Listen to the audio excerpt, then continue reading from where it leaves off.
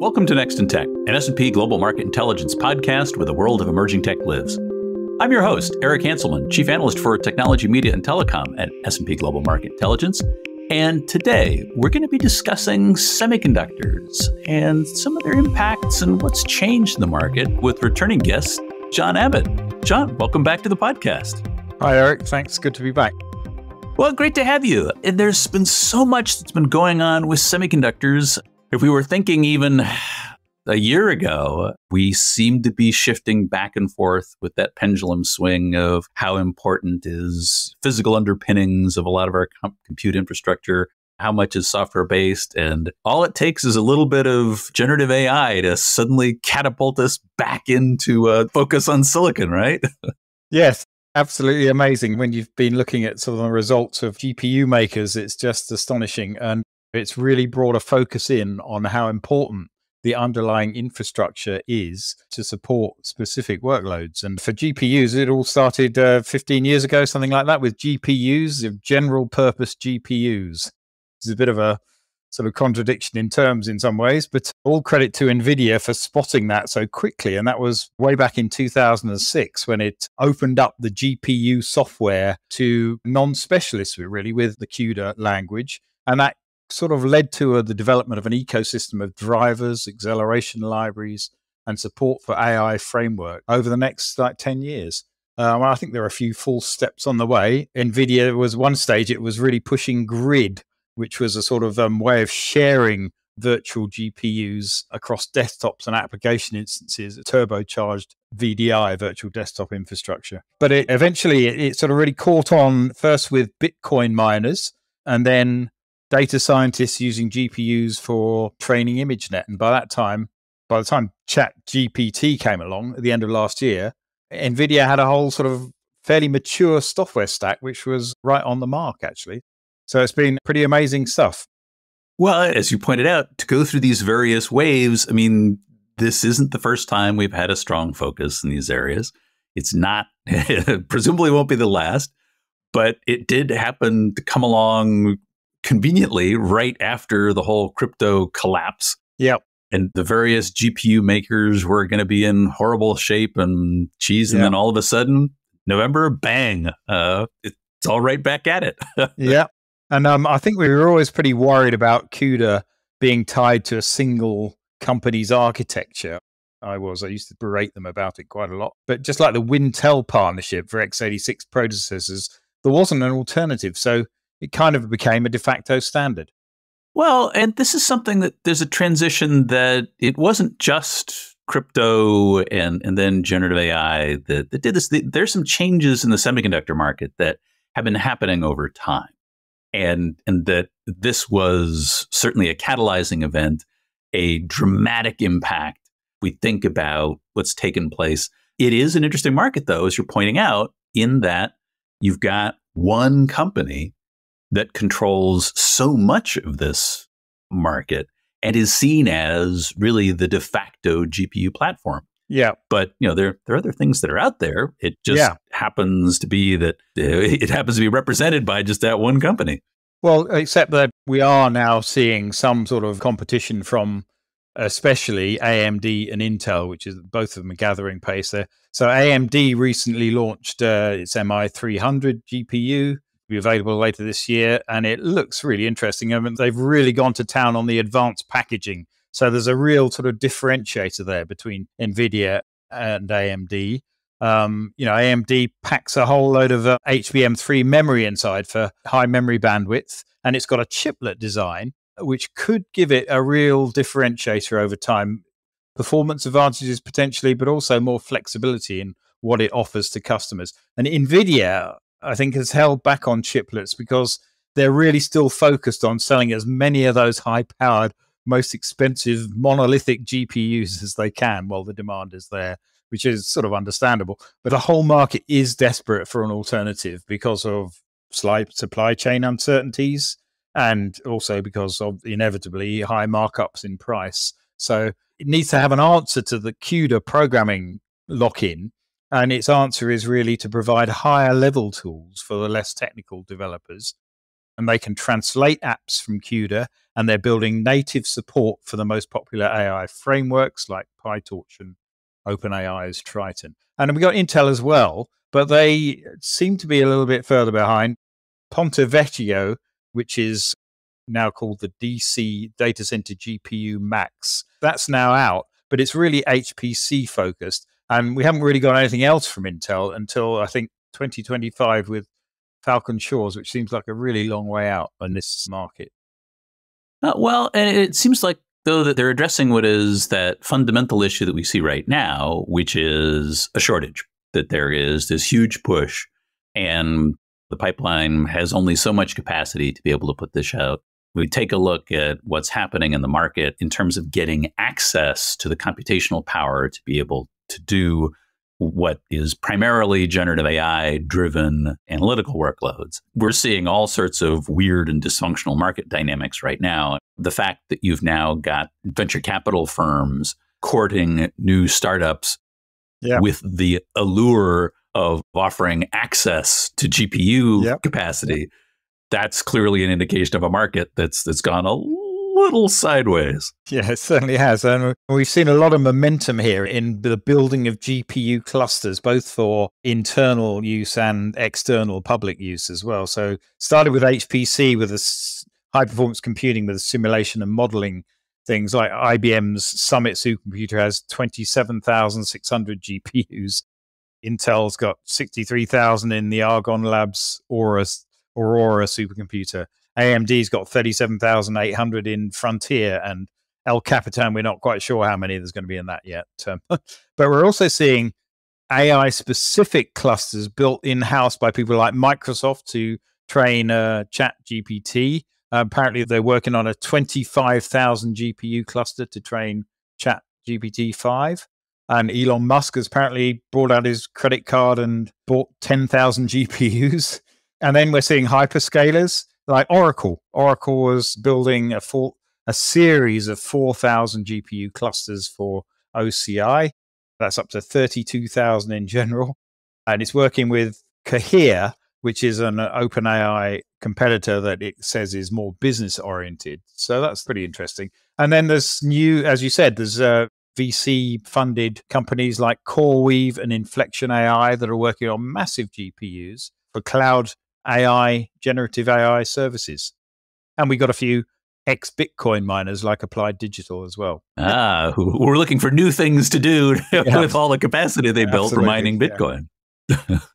well, uh, but I guess the hyperscale cloud providers have dipped toes into their own custom silicon for a while. And just thinking about what's happened with the semiconductor market more broadly, uh, we've moved to an environment in which there was that first push of broad generic capacity that was really what clouds were getting built on. And the idea was to have as uniform a, a substrate on which to operate. And yet, relatively quickly, most of the relatively large hyperscale providers started getting or started requiring specialized processors from the major manufacturers and started that evolution into you know they wanted processors that were slightly differently configured. So they had special versions of processors from intel and amd they started really looking at uh, things that were tailored to their particular environments.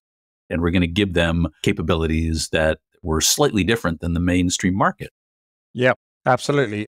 The best examples of that i suppose are Amazon has built its own series of CPUs for a start based on ARM processors. And that's been fairly successful because it can control its own software stack completely. So it's quite free to do whatever it wants under the covers there. And it's been pricing those instances pretty competitively. And that's worked out pretty well. But on the more specialist front, Google with its TPU has been the most successful. Amazon also has Trainium and Inferentia, so they have AI chips as well. But Google's the one that's been the most deployed. I think in the end, all the cloud vendors are still using GPUs alongside these specialist chips they have. So that sort of proves that the market really needs something mainstream as well. And I think over time, we're going to see things like the TPU and Amazon Inferentia shifting, putting more emphasis on inference for AI modeling for AI workloads than the modeling, than the training side. Because in the end, inference is the bigger opportunity. It just needs some slightly different things. It doesn't need such high powered GPUs, but they do have to have very low latency, for instance, because they need to be distributed and linked into applications and end users where the inference is actually happening. And then we've got still some surviving AI chip specialists that don't use GPUs, things like companies like Cerebras, GraphCore, TensTorrent, and Samba Nova. And it's been a bit tough for them over the last few years because it's hard to gain traction in a market area like that when you've got a completely new architecture. But the demand for generative AI at the highest scale might be their savior because there are limits to GPU scalability. And I think we're starting to reach some of those now. You know, it was interesting. We were just talking with Jim Curtis about different forms of databases that are better focused on generative AI, and mm. we get the same thing in semiconductors. Yeah, it's interesting. But also the evolution, the hyperscalers started building their own systems about 10 years ago because they weren't getting exactly what they wanted from the mainstream systems makers. And now they've gone down to the chip level as well because they're not getting exactly what they want. But I mean, it's such an expensive business. And I don't think they really want to be in that business if there's something off the shelf. And we're seeing some pretty interesting stuff still coming from NVIDIA and AMD in the future. For instance, these new super chips with GPU and CPU combined, closely coupled and sharing memory between them, like Grace Hopper from NVIDIA and, and the AMD MI300, which I mentioned earlier on. So I think that's going to be interesting. But you do get hyperscalers dabbling in that market, and it's led to some M&A. I mean, AWS is probably the poster child for that, buying Annapurna some years ago. But yet yep. Microsoft went out and acquired Fungible. Yep. Again, to give them the ability to manage their own supply chains and basically fill in some gaps in, in terms of what they want to be able to leverage. So it's been interesting to see how that progresses.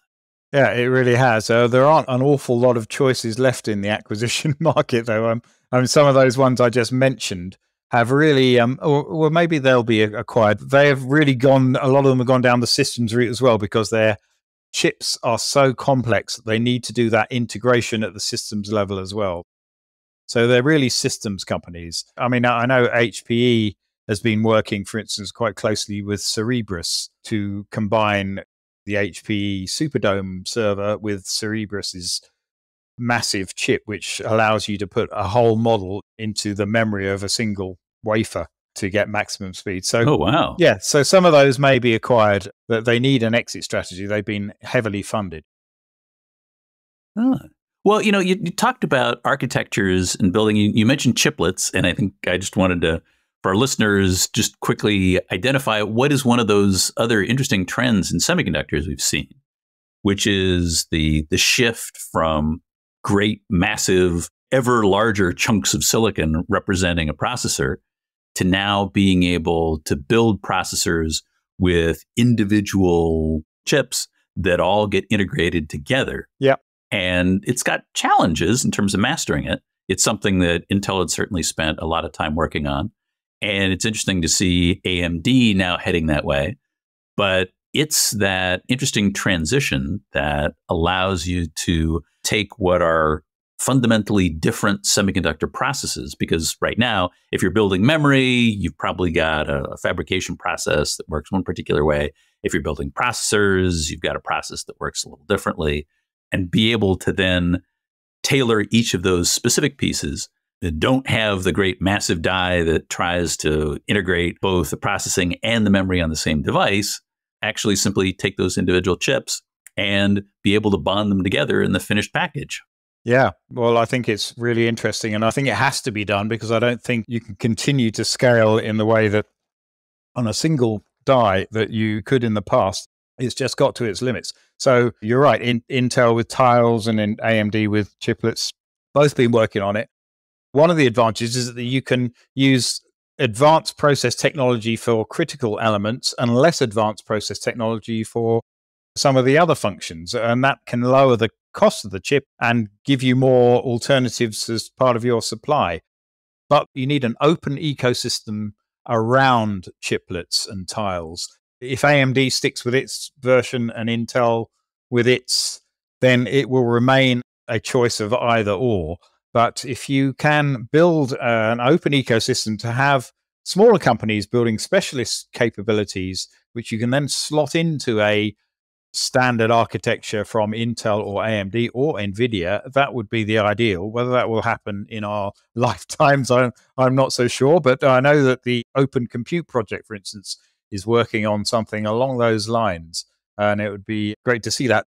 The other benefit of that would be that you could start using some of these chiplets for lower powered, older architectures manufactured by the likes of you know TI, uh, ST Micro, NXP, all those um, Broadcom, all those companies at the edge, and then you can start integrating more intelligence at the edge for distributed inference than we've seen so far, although it is coming. So I think that's extremely interesting. Well, you brought up the point about inference, and it is, I mean, that's the the high scale side of the AI story. Yeah. Training is going to happen relatively infrequently compared yes. to inference, which is where you actually take the model and, and are actually doing work. You are identifying images, you are processing data streams. And that's the thing, as you're pointing out, is going to be happening closer to the source of that data and, and the place at which, of course, it's going to be happening in much greater volume. Yeah it's interesting watching some of these approaches and as they split out, are these devices that are set up for training? Are they set up for inference? And what's the approach that they're looking at in terms of how they actually build the device and build out the architecture? Yeah, yeah. I'm not entirely sure I agree with you about training being a one off because it seems that once they finish training a massive model, they start again with the latest data. But it is a brute force, siloed, and really highly parallel operation. Whereas inference you know, is a bigger opportunity and a, and a day-to-day thing where you need high performance and low latency, but you also need lower costs, lower power, and uh, the ability to fit into a smaller form factor for edge processing. And I mean, some people think that inference might be best kept on CPUs as they currently are, the same CPUs that are used for other applications on the same server, for instance. Maybe with additional AI throughput acceleration and some algorithm acceleration and stuff. So that's Intel currently does have most of the market for inference. I think more will go to specialist processors, ASICs, and potentially GPUs too. But a lot of it will stay, I think, on CPUs. Well, it is one of those questions when we start looking at sustainability aspects. Yeah.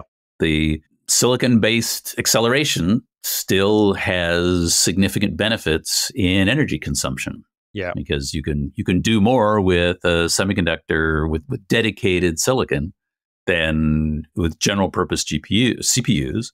And we all know CPUs and GPUs consume a lot of power. Yeah. And it's that question of how do you blend the, the specialized capability with a general purpose capability and still you know hit energy targets that, that start to make sense. Yeah, we've been doing doing quite a lot of work with clients on sustainability at the chip level, which is people are becoming more aware of. Moore's law, obviously in decline. Some say it's dead altogether. For years, the increase, increase in the clock speed would be the performance boosts without any code changes. But as transistors got smaller, you know, they the doubling in the transistor count on a chip would see a corresponding drop in the power per transistor, but only by something like 20 to 30%. So there was a gap there and it's still growing. And the power density of, of these GPU clusters is just going to get worse and worse. And then we've got to start looking at uh, new forms of substrate, uh, gallium nitride perhaps. Chips will continue to get more powerful and more efficient, but that won't lead, I don't think, to less total power consumption because of the growth rates we're seeing. So the average server consumption continues to rise. So that's a major problem ahead. Well, there's there's that the demand for raw computational power increases. Uh, we've got to deliver it somehow. Yeah, that's the challenge. Although it is interesting to see that there are now conversations around compute per watt, right, and managing what that the, the power consumption is for that total compute load. Yeah, it, it's something that gets seen as a motivation to be able to upgrade to newer generations of computational hardware. And it's something that presumably is going to continue to drive that overall requirement for capacity. Absolutely. Yeah. Well, it'll be interesting to see where this continues to move forward. I guess we've seen the concern about sustainability already in areas like telecom, mm. where I think there was a big push to be able to go to all software, the virtualized radio access network, VRAN. Yeah. The whole focus there was that being able to move to an entirely processor based version, moving away from dedicated hardware was going to give telcos flexibility. But it turns out that it came at a relatively significant cost for power efficiency.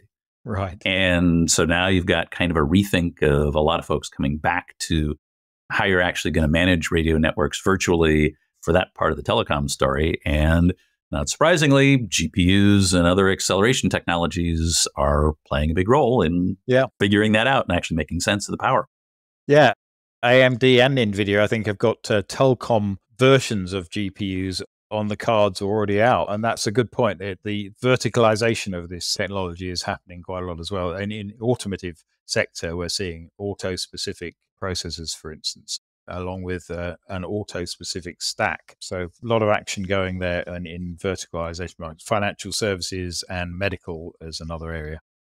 Well, it gets back to the point that you were making at the outset, which is that there's that level of specialization that starts to creep back in as we're trying to refine the approaches, what we're actually doing with particular tackling a particular problem and, and being able to provide a, a specialized way to do that to be more efficient, more effective, to actually really deliver it. And guess what? Specialized silicon happens to be right back where it is all over again. Yeah, I mean, in a way, people would prefer just the one architecture to to apply for because it makes things simpler. But you just can't do it. There's too many performance gains to be had from specialized architectures. It's you know ten times, sometimes a hundred times people talk about. It's, it's too big to ignore. So one size fits all it no longer really applies, I'm afraid, in the silicon market. It's a nice idea, but something that is, yeah. is harder to actually tackle in truth than in, in practical aspects. yeah, yeah. Oh, cool. Well, what should we be looking out for uh, in the year ahead, and what should organizations be thinking about? Well, I mean, you should look at how to best get access some of this technology. I mean, the early people doing training bought their own hardware because they had to control it. They needed access when they wanted it, and they needed all the control that you get from on prem data centers. But most people don't really want to spend that sort of money on their own hardware. So it's really sort of looking at what the cloud providers and including the second tier specialists as well, who are really coming up with integrated stacks and services alongside their hardware. And that might be the best bet for, especially in the early stages of AI integration into your, your real world application. Go for the some of the service providers there, and they'll guide you through, and then evaluate after that what the best way of spending money is on the hardware and the software. Uh, it's as with many transitions to new technologies, use those low risk paths that let you experiment. And then once you start getting into serious investments, figure out how to actually manage that as effectively as possible. Absolutely. Absolutely. Well, this has been great, John. Thank you for all the perspectives. It's been great having you back on the podcast. Great. I really enjoyed it. And that is it for this episode of Next in Tech. Thanks to our audience for staying with us. And thanks to our production team, including Carolyn Wright and Ethan Zimmon on the marketing and events teams, and our agency partner, the 199. I hope you'll join us for our next episode where we're going to be talking about some of those cloudy market perspectives. Melanie Posey is going to be back on to look at the latest perspectives about what's out there in cloud. I hope you'll join us then because there is always something next in tech.